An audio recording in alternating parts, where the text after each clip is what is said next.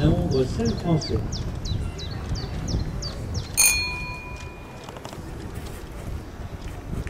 C'est un fils de Koriano Stepanenov, BWP, et de Anna, anglo-arabe par Westland 2, anglo également.